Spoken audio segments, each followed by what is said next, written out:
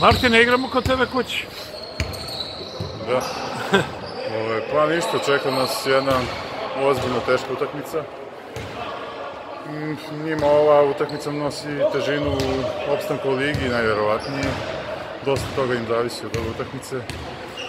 Ovaj, ništa, mi smo rasterećeni, ali to ne znači da ćemo da uđemo opušteni u meč.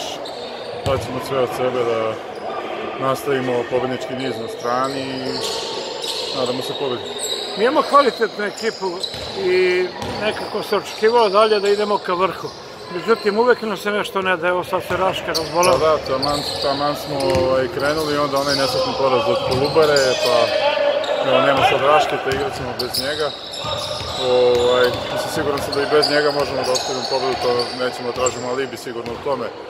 Ovaj, tako da, ne znam, nadamo se najbolje, mi igramo svaku utakmicu, gledamo da pobedimo, pa šta bude, bude.